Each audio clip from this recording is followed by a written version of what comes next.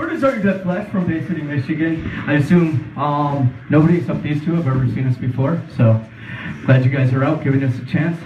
Um, glad your guys' other plans didn't work out and you're here. So, all right. So, yeah, we'll go ahead and get started. Um, we have like cheat sheet things over here because it's a lot more fun when you sing along and things to the songs. But you guys ain't seen us, so you don't know what to sing along. All right. Um, so this is um 9/11. I wrote this song um, a little while after the 9/11 2000. The song says the bully and the weak need to share the playground.